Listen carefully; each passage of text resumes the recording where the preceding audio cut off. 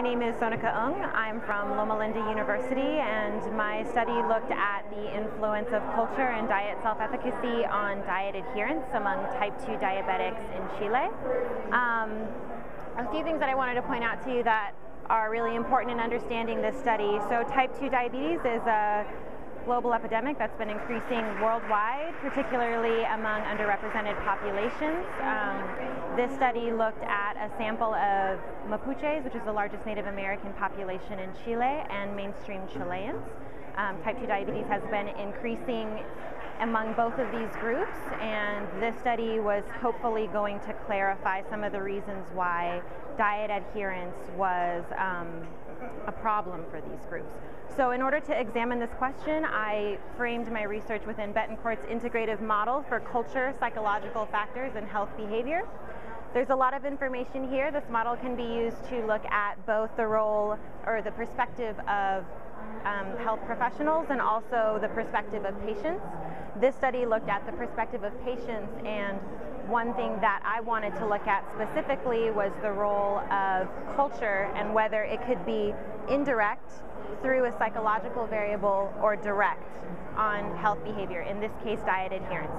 So specifically what my hypothesis was, was that um, cultural beliefs about susceptibility to social pressure, uh, particularly uh, feeling unable to refuse food that was offered to you as a sign of affection, um, would um, directly and or indirectly through diet self-efficacy influence prescribed diet adherence.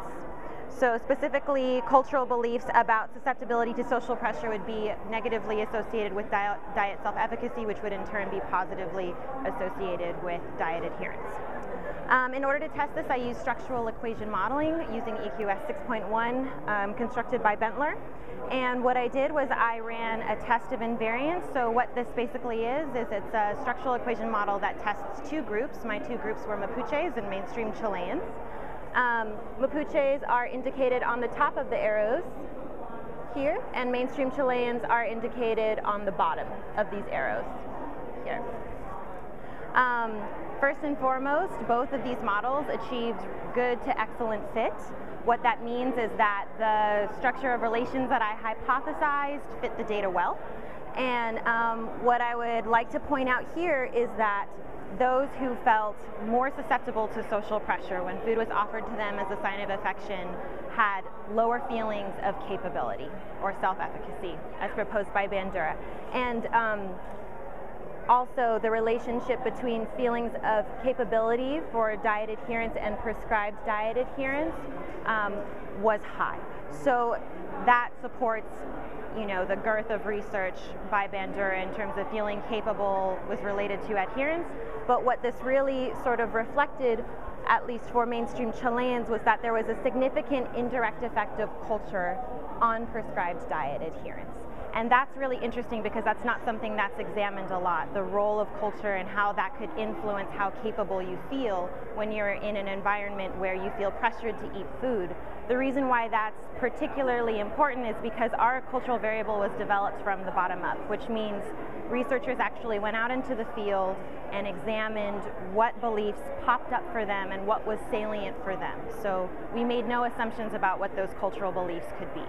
Um, and when taking that cultural variable from such a specific context, we found that um, that really gave a much fuller picture of how diet adherence works. So um, one of the things that um, me and the co-authors thought might be driving the power in this cultural variable is sort of the larger perspective of collectivism and field dependence. So really um, looking at how in field dependence, that means you know being more dependent on the social situation around you to make decisions, or collectivistic, valuing the group over yourself.